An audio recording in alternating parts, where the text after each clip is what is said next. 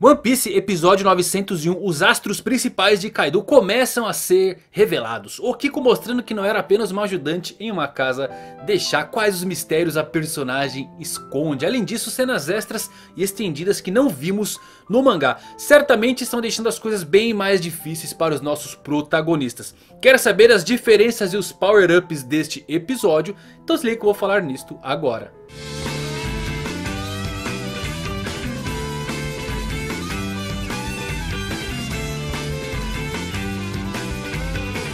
Fala galera, Evandro Fusari, Evandro com mais um vídeo pra vocês. Como vocês estão? Espero que todos estejam maravilhosamente bem. One Piece 901, um episódio bem interessante, estendido. Alguns torceram o nariz com algumas cenas, alguns amaram. Vamos falar de tudo isso nesse review, que tem umas coisas bem legais. Eu vou citar algumas passagens que não apareceram no mangá e a equipe de animação conseguiu estender de forma talvez legal e interessante alguns pontos que certamente eram um pouco falhos no mangá e você já vai entender do que eu estou falando. Antes disso, aproveita para se inscrever. Escritão Mangalático, dispara o like para dar uma fortalecida. Dê um confere nos outros vídeos de história e vamos lá falar de One Piece 901.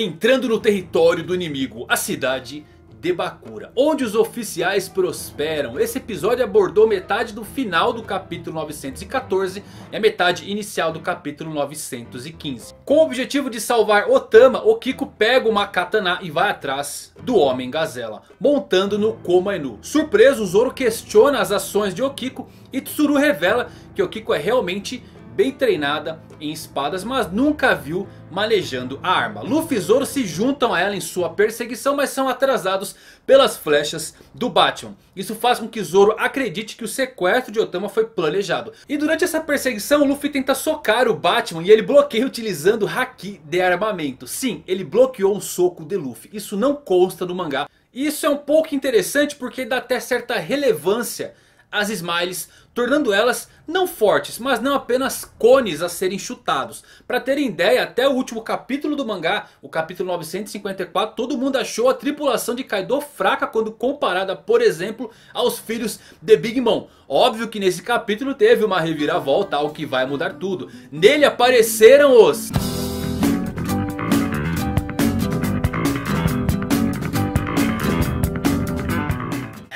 Acho que isso é um spoiler, né? Não, eu vou respeitar quem só assiste o anime. Se quiser saber, vai dar um confere lá no mangá. Mas realmente nas páginas do mangá a tripulação de Kaido parecia mais fraca. Os Smiles não eram nada.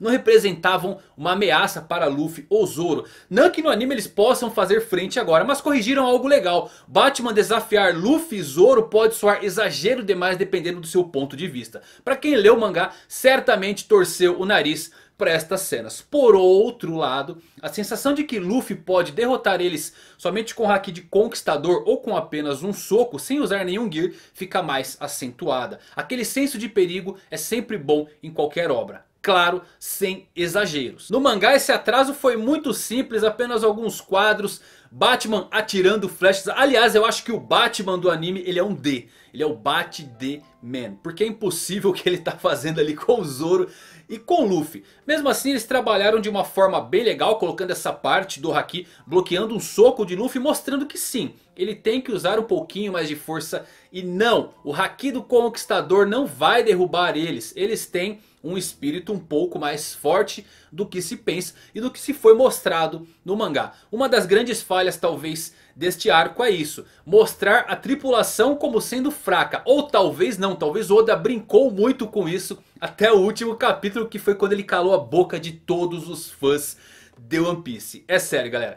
Por isso que vale a pena você também acompanhar o mangá. E também vale a pena quem acompanha o mangá ver o anime como trabalham isso e como estão deixando mais hypado alguns personagens. Estendendo a luta de Hawkins, por exemplo, a luta contra o boneco de palha foi mais interessante. Deram ênfase mais acentuado em Zoro. Zoro sofreu um pouquinho mais de danos lá no mangá. Ele recebeu uns danos a mais daqueles pregos. Aqui no anime foi apenas um corte em seu braço. A galera gosta do Zoro, fala a verdade. Essa equipe de animação e a produção tá dando um destaquezinho a mais no Zoro. Se no mangá já é praticamente o arco dele, no anime então se segure na cadeira aí meus amigos. Bom, o Batman atrasando eles bate no pé, cai fora. E o Kiko puxa um bloco de notas e depois ela deduz que eles estão indo em direção à cidade de Bakura. A cidade controlada pelos oficiais de Kaido. Ela informa Luffy e Zoro sobre os rivais que encontrarão no local, os astros principais de Kaido.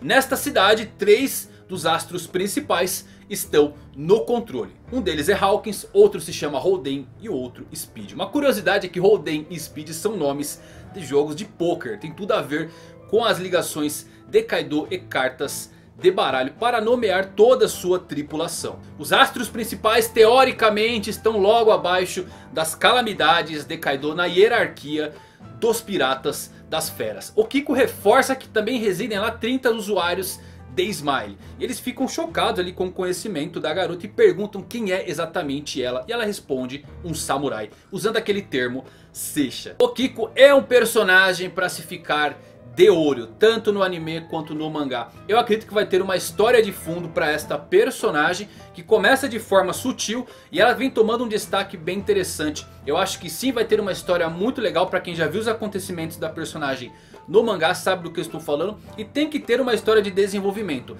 Talvez uma das personagens mais interessantes introduzidas no arco de Wano.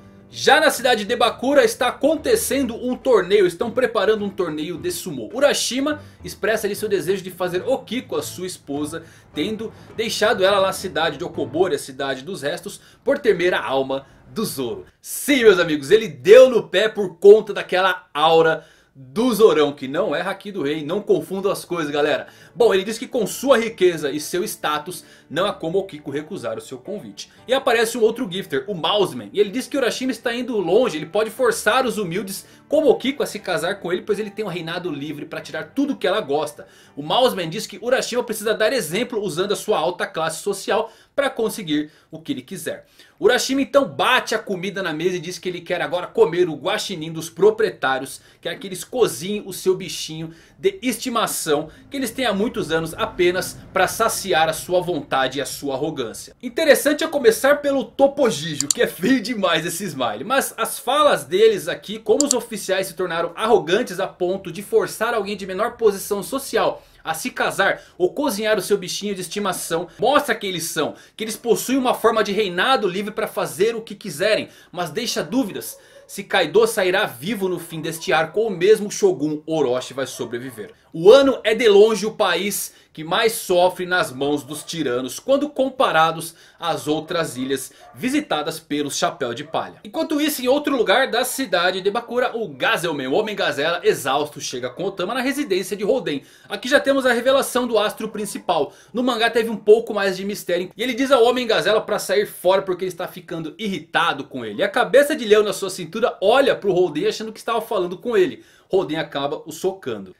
O leão de sua cintura fica meio furioso ali e acaba retalhando, acertando Holden bem nas suas partes. Mas esse ataque também machuca o leão porque eles compartilham o mesmo corpo. Fazia tempo que eu não ria tanto com One Piece dos últimos episódios. Não existe essa mágica no mangá e eu confesso que eu parei o episódio inteiro para rir dessa cena que foi muito engraçada, foi sensacional. Os subordinados de Holden perguntam sobre o que devem fazer com a pequena Otama. E o Holden pergunta como ela conseguiu domar aquele babuíno no começo do arco. Devido a Hitetsu instruir ela a não utilizar os seus poderes na frente dos outros, Otama acaba decidindo por omitir a verdade sobre o seu poder. Mas Holden ouviu que ela tirou algo de sua bochecha e instrui um dos seus subordinados a trazer um alicate. Para que ele possa tentar puxar a bochecha de Otama à força. O poder de Otama vai se mostrar absurdo.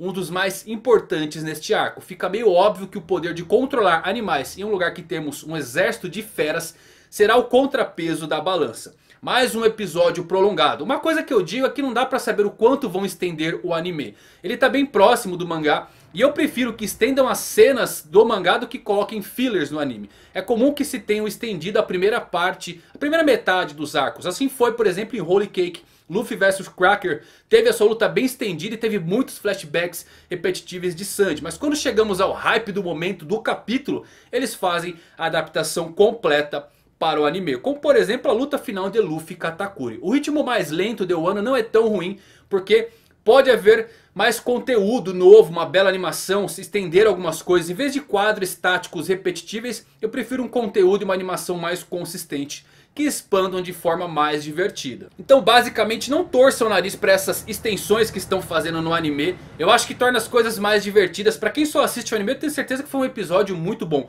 Para quem leu no mangá e comparou ali a cena do Batman, deu uma torcidinha do nariz. Eu por exemplo me diverti. Óbvio que eu sabia que aquilo não aconteceu nas páginas do canônico do mangá. Mas foi de veras divertido ver o Batman com flechas infinitas e bloqueando um soco de Luffy. Mas e você, meus amigos? O que você achou desse episódio? Valeu ou não valeu a pena? Você que assiste o mangá, o que você achou do Batman, dos Smiles ganhando um Power Up? E você que só assiste o anime, o que achou desse episódio? Eu quero saber a opinião de cada um de vocês. O que vocês acharam? Está amarrando muito? Estão desenvolvendo legal? Deixa aqui nos comentários, eu quero saber a sua opinião. Galera, é isso, espero que vocês tenham curtido, se divertido com esse review. Se gostou, manda o like, compartilha, chama os amigos pro canal porque é de vocês. Até os próximos vídeos. Fui.